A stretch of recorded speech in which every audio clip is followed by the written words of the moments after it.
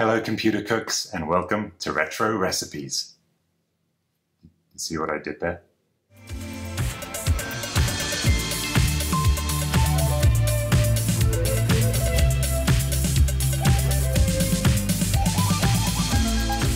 Now, some people are scared of some things. Uh, many people fear spiders. Uh, some people are scared of open spaces, closed spaces, medium-sized spaces. I am afraid of... It's over there. No, not the Commodore 64 power supply that I made. It's next to it. It's one of these.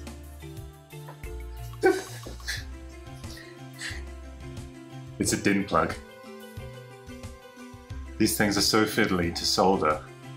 Uh, if you've ever tried it, you'll know that I'm not alone in hating it.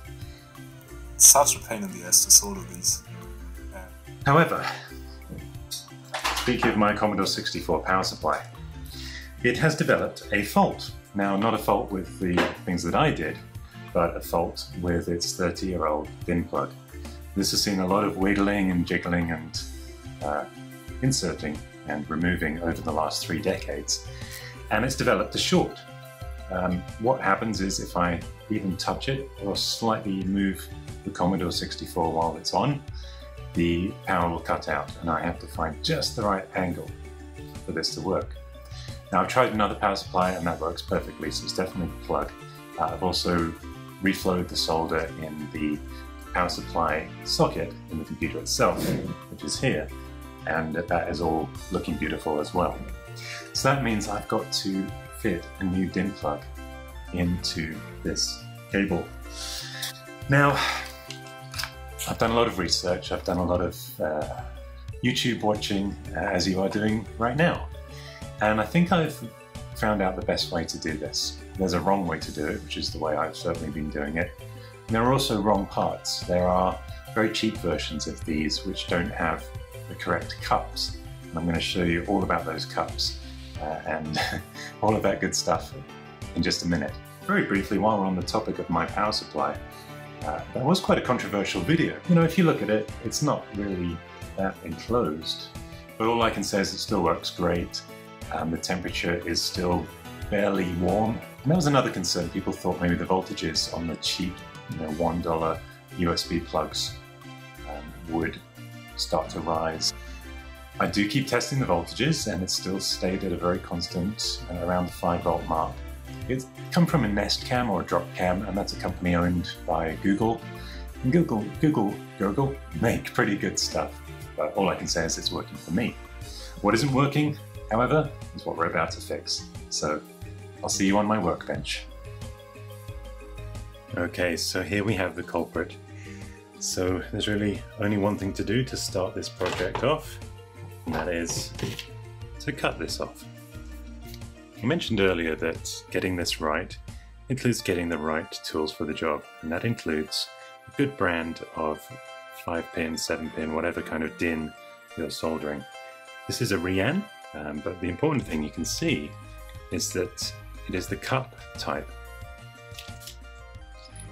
Okay, so it comes in a few bits. We've got a screw here, so I'm going to put that in my screw box, keep that safe. To stop me forgetting, I'm going to thread this onto the cable right now. So this, don't forget, has to go on first.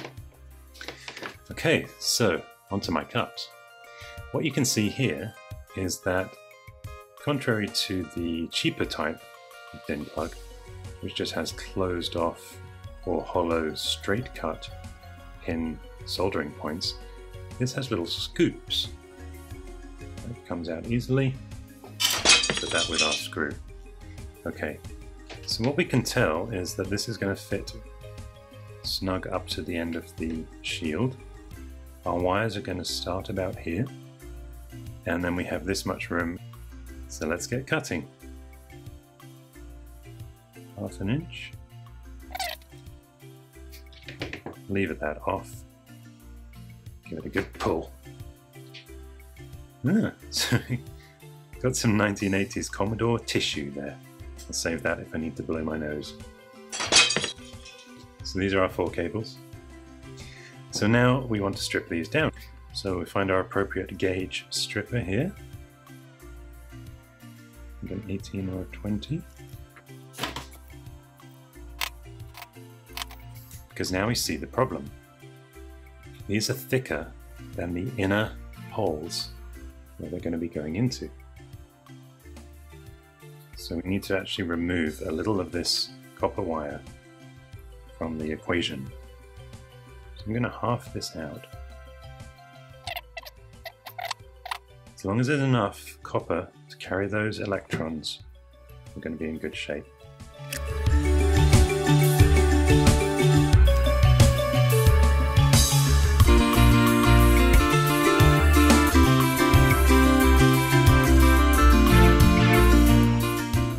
Okay, looking pretty good. What I'm going to be doing is just tinning these cables to give them a good conductivity and a ready prepared finish.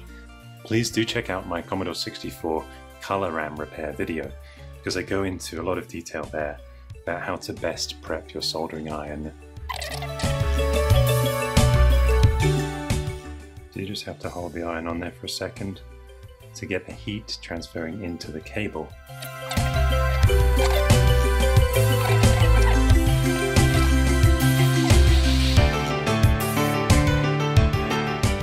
Nice.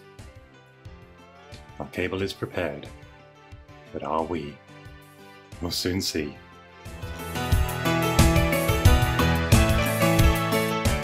Okay, so we're going to start with the ground, which is pin 2, and the blue cable. And I'm referring to my microscopic Commodore 64 DIN plug plan, thanks to Greiser's workbench. So the first step here is to get our soldering iron, and what we're going to do is make sure the heat conductivity is good on the iron. As I say on other videos, you know, if you're too squeamish to do this yourself and you need some mods or repairs done, I do offer repairs and the mods, so just check out the description below. Now there's a little bit of solder that's going to aid the heat transfer. The correct way to do this is actually to insert solder into the pin and melt it while it's in there.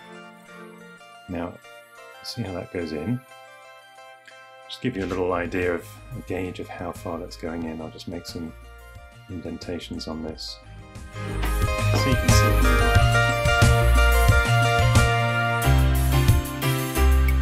That's the end point. So we want the tiniest little bit of solder to go in there. I'm going to feed that in. Again, the microscope or a magnifying glass does help. I'm going to cut that off as small as I can. So that solder is now in there.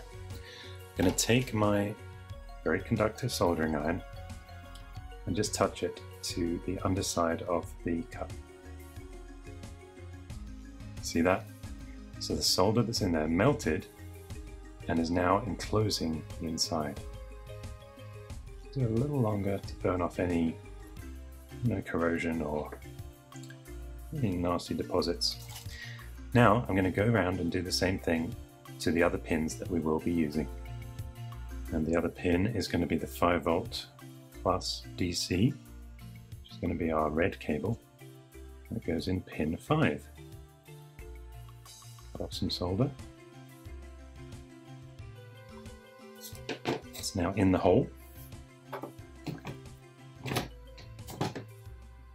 And melted in there. Boom, there it goes. Next up, pin 6.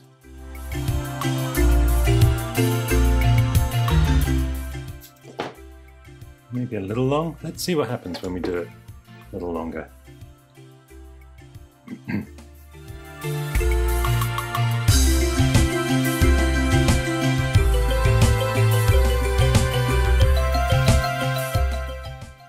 There it goes. That actually seemed pretty good. That wasn't too long. Add a little bit more on there. This is actually pin six because we're looking at this from the other way around. So pin seven is the one we did for the black nine volt. This is pin six for the brown nine volt.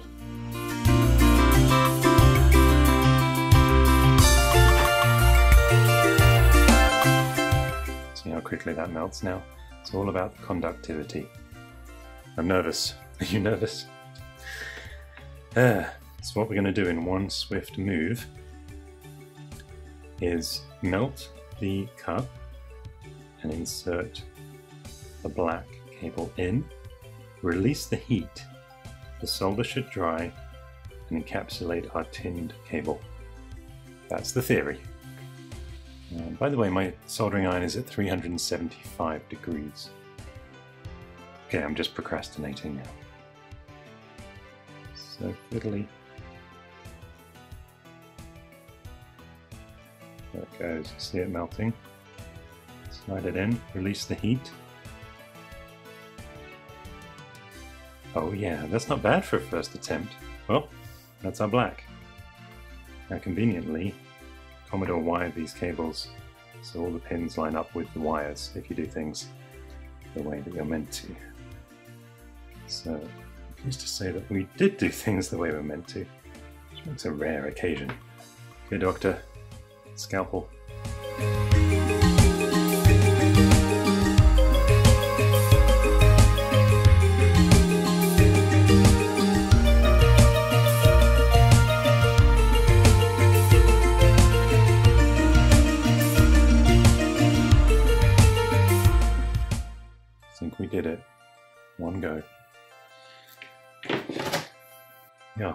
There.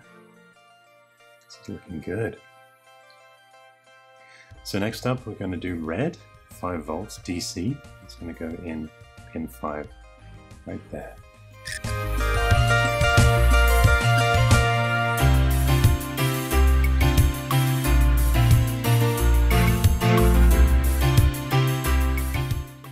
Okay, I had to make a little compromise there because my cable was still too thick.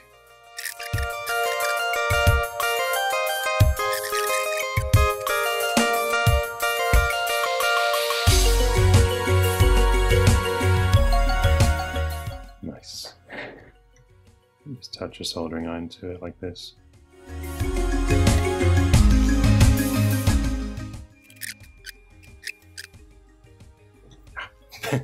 Don't burn yourself. Things get fiddly at this point because you've got less room to maneuver.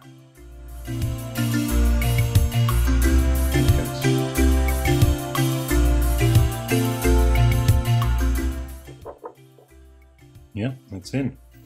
Okay, I think we are done. Uh, I am particularly pleased with how these first two went in, as they were meant to. Things got a little trickier as the space got tighter as we started working on more and more points, um, but there's no issue of cross conductivity between these two. Is it the tidiest, most beautiful pin plug you've ever seen? Yes, it is. It's my baby and I love it.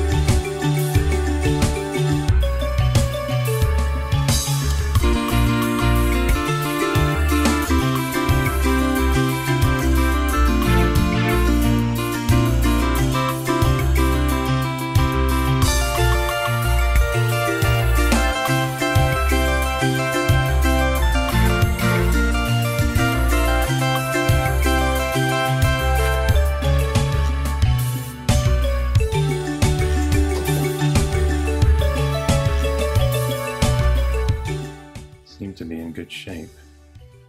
We have a tiny screw.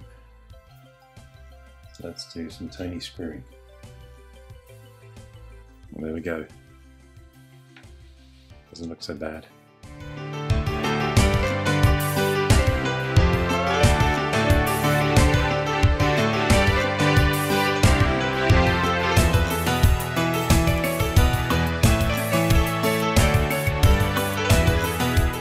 Well, Let's go try it out. Okay guys, my PSU is plugged in. The wire runs up here.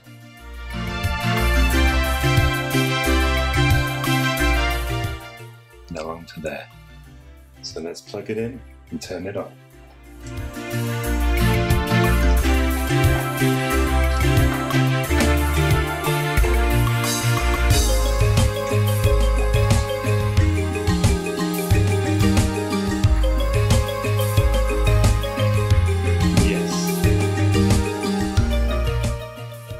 Can safely say that if you are scared of spiders, jump in a pit of tarantulas. Well, maybe not tarantulas, maybe one tiny spider.